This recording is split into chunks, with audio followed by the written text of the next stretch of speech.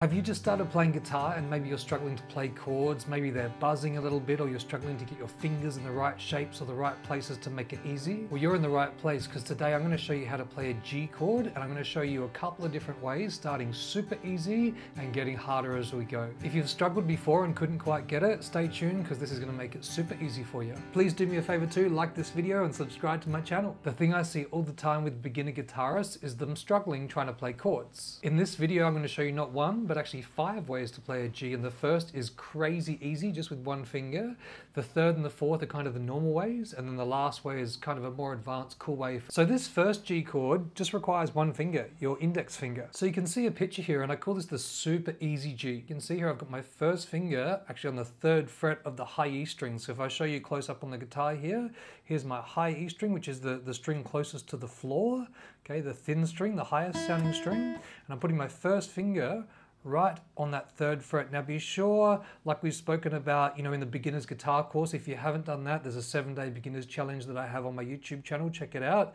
Make sure you keep your fingers right up to the fret like that, okay? It's really important. If it's in the middle or further back this way, you're gonna have to push harder and harder to get that note to really ring out clearly. So right behind the fret, I say about the thickness of a guitar pick just behind the fret there, so nice and simple.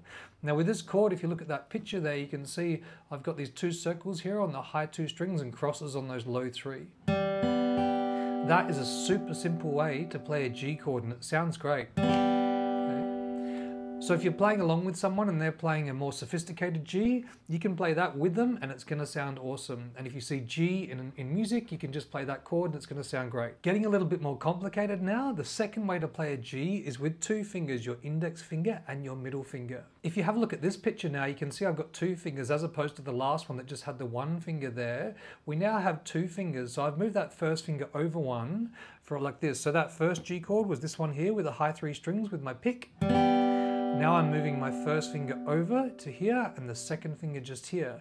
Again, I'm just playing those three strings with my right hand, okay? Just these three strings here. Sounds great. Now you might be using your thumb instead of your pick. That's fine too. If you want to use a thumb, that's fine. You'll notice on the chord picture up here that I say pretty sound. That chord sounds really pretty. If you hear that, compared to that first one,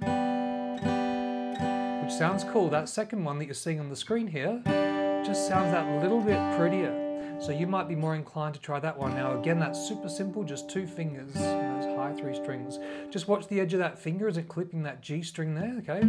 If that, if that finger's kind of touching there, it might just be buzzing on that, that third string there, okay? So just watch that, just trying to keep it nice and clear on those two and give that little distance there so you get rid of all those buzzes. So just to recap now, we've got that first way to play a G. Okay.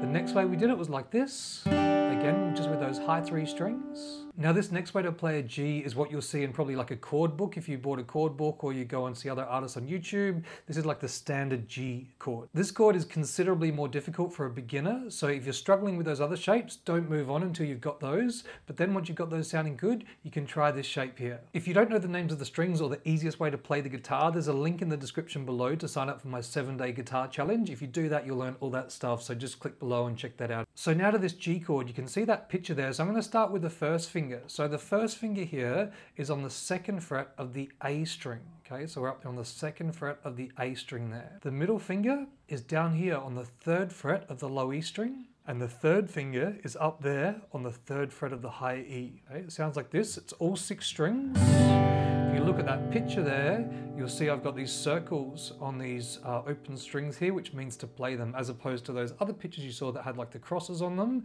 That means don't play. But with this chord, we're playing all six strings with the right hand, so all six.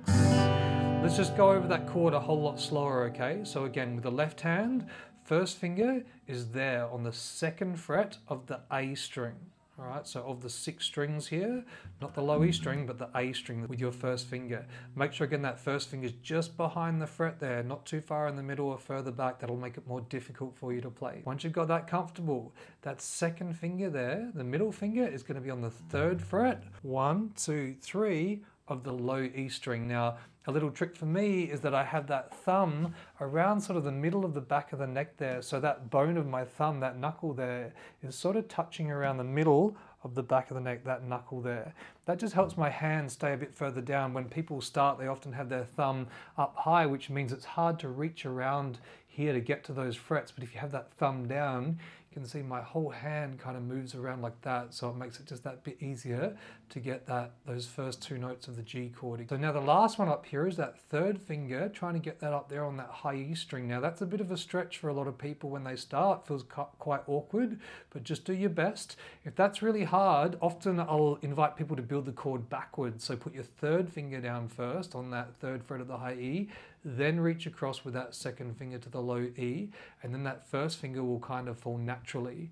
Now, at first, when you're playing these chords, you might only get maybe three or four of these strings to ring out. You might have a few sort of dead notes when you play, sort of you know, something like that. Now that's often because some of these fingers here are hanging over a little bit this way. So you can see that sort of angle there. When the finger's coming off this way, it actually clips that, that next string. That string underneath there is, is, is dead, it's muted. So what we want to do over time is actually bring that hand up a little bit. So that finger there just clears that string underneath and doesn't mute it okay? That again takes time. Um, and again watch that thumb. Just the further you can probably get that down the more it will help Everyone's different, so you just got to do what's right for you, but generally these are the easiest ways to do it, okay? So there it is, just like that. So that's our G chord. Like I said, that's what we call the normal way to play a G chord. If you look in a chord book or something like that, that's what you'll see. Most people on YouTube, they're playing it like that. If that's too hard, you've already got two other ways to play that G chord. That super easy way we started with, with just one finger. You've also got two, way, two fingers here. And anyone that's playing a G chord and says, hey, play along with me, can now play that first way, and it's going to sound great here. Just remember, with those two, it's only three strings. All right, what have we got next? This one here is what we call a pretty, I call this a pretty G, and this is just a little bit more complicated. You can see that last G we played just had that third finger on the top here.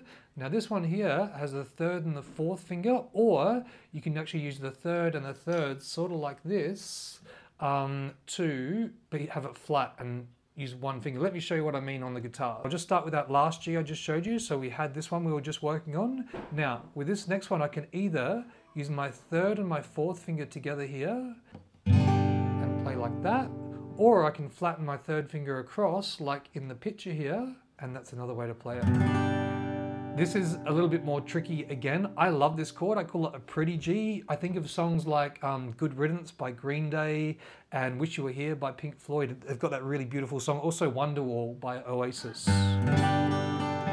It's got that beautiful sound at the top. Okay? So you don't quite get that, that beauty with that normal voicing. That was the other one, the normal G. But with this pretty G, okay, if I put that flat there,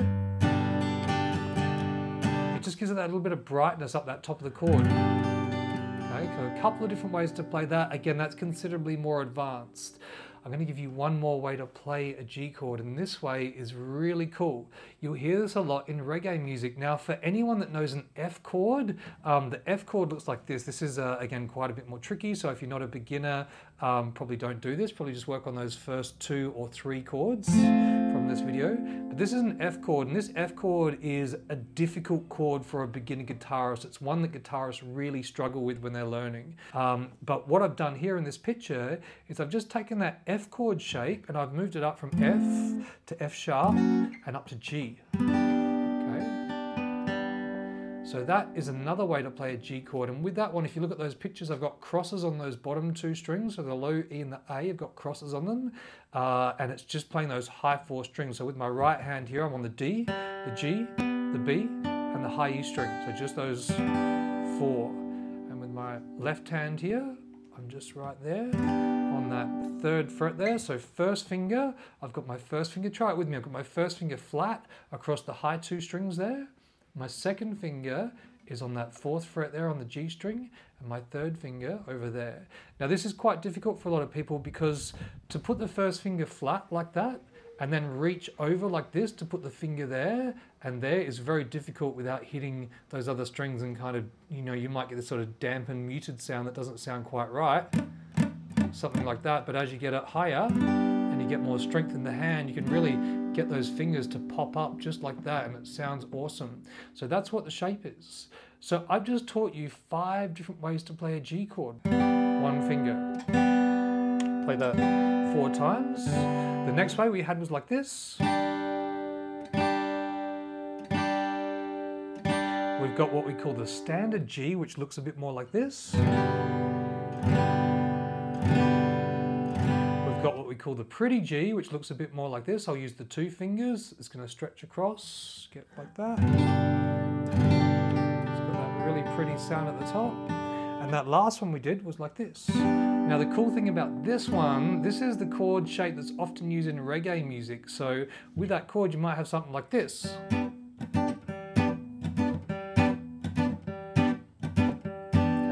So what I'm doing there with my right hand is I'm hitting the lowest note because I'm only playing four strings, remember, okay? That chord, you can see those crosses on those low two strings.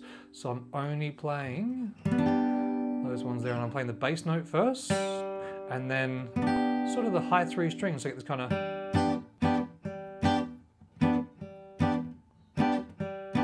Okay. You might often hear a guitarist playing this with um, upstrokes as well, so you can imagine if you have that bass line, doom, a doom, a doom, a boom, boom, a doom, a doom, a doom, boom, boom, boom, boom, drums, okay? It's got that cool sound. So that's just that voicing right there. Again, looks like that. So between those two, um, you've got a lot of different ways to play it from a beginner to a bit more of an intermediate player. Really cool. Depending on what I'm doing, depending on what sort of music I'm playing with, it depends on what style of G I'm playing. Also, depending what musicians I'm playing with, you know, if someone's sort of playing by the campfire and they're playing, say, that first G, you know, I might be more inclined to play just that top bit make up a little melody from that. You know, all I'm doing there is instead of playing all three, I'm playing that kind of thing where I'm playing one note at a time and just kind of making up a rhythm. Or I might go with more of that kind of shape there. Okay, and go with that. And that's going to sound really nice against another guitarist playing that first shape.